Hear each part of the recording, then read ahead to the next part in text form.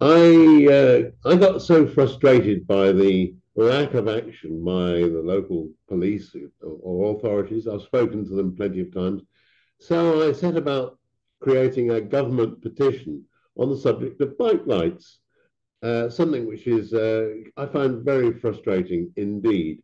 Um, the petition is called, it's got a very strange name, petition 654147. Nice and easy to remember, 654147, which is um, a petition which says that the authorities must require bikes to be fitted with suitable lights in full working order at all times. Uh, basically, the theory behind that is, oh, of course, I'm not looking for them to be uh, using the lights necessarily during daytime, but if they're not in full working order during the daytime, they're hardly likely to be ready and well, uh, able to be used at night time, uh, or, or when, for instance, um, light conditions are, are poor, or, you know, which happens at times, you know, fog and etc. etc. So the, the key to this is, is all about bike safety, not only for the cyclists, but also for other road users and pedestrians. Uh, I was nearly knocked over outside my shop by uh, a guy who had, um, he was cycling a black bike, wearing dark clothing, um, uh, not a single light whatsoever on his bike, but he obviously had some sort of rented brain cell because he'd fashioned a, a bracket to hold his iPhone so he could watch YouTube clips whilst he cycled along. But he, he was cycling on the pavement. Also, uh, I have been filming out in East Road on a regular basis uh, associated to the lane restrictions that are going on in East Road. I keep on getting distracted by um, the misbehaving cyclists, uh, a lot of the Deliveroo and Just Eat people who seem to like cycling on the pavement without any form of lights, etc., etc. So um, I, I, uh, I, I decided that I was going to try and do something about it.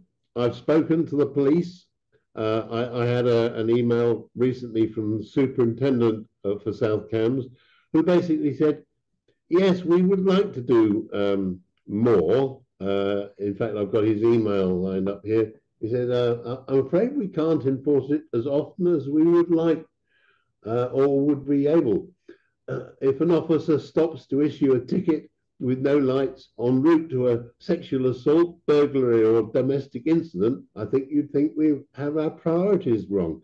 Well, we're not suggesting that. I'm just thinking it needs to be enforced. There's no point in having a law which says your bike should have lights uh, uh, um, uh, at night time with, um, without any form of enforcement. And I, um, I conducted my own little, I thought, well, let's get some data together. So what I did was I, I counted on my six mile commute home uh, every night for a week. I counted the number of bikes I saw with and without lights and just made a mental note of it as I was driving along. And I popped the details into a, a, a spreadsheet. And at the end of the week, I'd calculated that 40% of the cyclists I'd witnessed cycling on the road or pavement or whatever uh, on my drive, drive home from Cambridge to Cottenham, 40% of the cyclists were without any form of illumination. You know, um, in, in, a place that's well lit, like East Road or, or, or, or going along Newmarket Road, you know, it's okay, they can get away with it. But there's an awful lot of places now, they're cutting down on street lighting. Uh, if you go up somewhere like Gilbert Road, which seems like a bit of a hot spot for it, because I, I, I, saw at least, just about a mile long Gilbert Road, and I saw on one night, I saw 12 cyclists without lights whatsoever. Um, you know, it, it, it's just ridiculous. I, I, thought, well, let's, let's put some data behind it, and um, you know, we, we'll we'll see if we can't get a bit of interest. I, my my my uh, petition has been running for uh, only a matter of days. Uh, and there's a couple of hundred people signed up to it so far. Um, but I need to get a little bit more uh, traction behind that. People should sign up to. So if you Google petition 654, nice and easy, 654 147, which is the top score of the snooker game. 654 147. Nice and easy to remember. Uh, and basically, uh, if I can get enough people interested, uh, the government say they'll give us an answer as to what they propose to do. Um, you know, back back in the uh, the days, back in the 1960s and 70s, I've had people say to me, "Well, back then, I even had people, you know, the police stop me and check my brakes, and one person said he finished up in court because his brakes they worked, but they didn't work well enough. So the policeman uh, back then the priorities seem to have changed. I, I, I, dare say it's all going down to budgets and uh, uh, and the amount of people they've got available. But really, um, it is so frustrating. I, I had what was what could be termed an amusing incident filming in East Road. Uh, there was a young lady cycled past me. She had no lights whatsoever on her bike.